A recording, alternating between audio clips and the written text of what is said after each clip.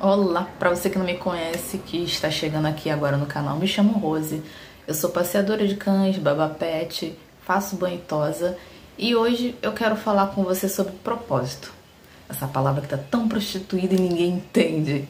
Sabe? Propósito, resumidamente, é quando você faz uma atividade que você não vê ela passar. Você tem prazer em fazer e faria até de graça. Se você faz algo que te demanda muito, que é cansativo, que você não gosta de fazer, é porque você não está no seu propósito. Assim, eu amo muito o que eu faço, tanto que às vezes final de semana eu tô aqui em casa, eu atendo, gente, até final de semana, feriado, mas não me cansa, não é uma coisa cansativa, assim, não é uma. Às vezes as pessoas que veem de fora, poxa, você não tem um dia de folga, não tem um descanso. Falei, gente, mas eu trabalho descansando. Gente, trabalho caminhando, trabalho com os meus cachorros. E as pessoas não entendem isso. Tipo, as pessoas normais, assim, que têm a cabecinha de CLT. E você, né, que quer trabalhar na área pet, você tem que analisar muito. Será que você gosta de animais mesmo? Né? Porque eu vejo, infelizmente, assim, tem passeadores que maltratam né, os bichinhos, né? Puxa, fica gritando. E assim, trabalhar com cães você tem que ter a maior paciência, porque tem cachorros que são calmos, tem cachorros que são agitados, tem cachorros que não vão gostar de você, vão querer te morder, tem cachorros que não vão querer sair com você. Então, a gente tem que saber lidar e tem que amar muito o que a gente faz. E uma dica que eu te dou, né, para você que quer ingressar nessa área, busca fazer um treinamento, ver se é aquilo mesmo que você quer, né? Mais assim a parte de banho tosa, que eu comecei há pouco tempo, assim, eu aprendi a gostar.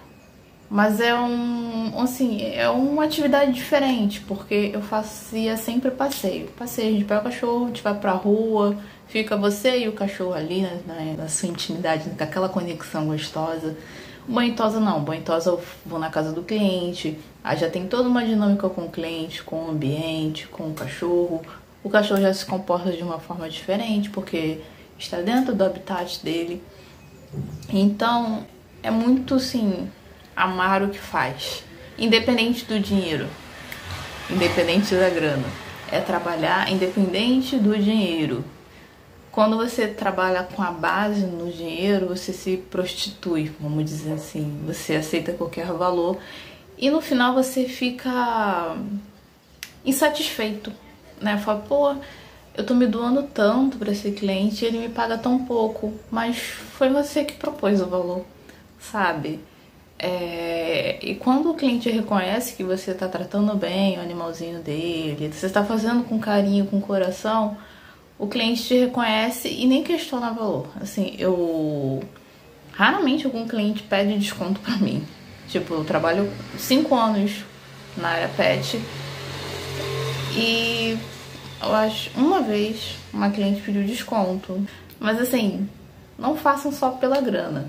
E também você tem que gostar do que você faz. E quando você faz o que você não gosta só pelo dinheiro, você não vai trabalhar entusiasmado, você não vai trabalhar feliz, você vai trabalhar de qualquer jeito. Né? Eu vejo passeador de chinela, arrastando cachorro. Isso não é legal, não é interessante. Porque a gente é o nosso cartão de visita. Todo mundo tá vendo gente. As pessoas me conhecem, ah, menina do cachorro. Nem sabe meu nome, ah, menina do cachorro. Cadê os cachorros? É assim. Então, se você quer trabalhar na área pet, veja se é isso mesmo que você gosta. Não vai só pela grana. A gente não ganha muito dinheiro não, hein? Depende, né? Depende. Não vou dizer que a gente não ganha dinheiro, mas depende muito da tua entrega também. Depende muito da sua entrega, de quantos clientes você tem. Isso é importante. É... Se você fizer grupo de cachorros também, que eu não concordo, mas isso aí é assunto para outro vídeo. Que eu, eu, eu realizo passeios individuais, né? Mas enfim, cada um trabalha da forma que melhor te atender, né? Porque se você focar só na grana, você não vai dar um melhor atendimento para os seus clientes. Aí é foda. Enfim, essa era a mensagem. Espero que, vocês, que você tenha gostado. Já deixa seu like, se inscreva no canal e te vejo na próxima. Beijinho!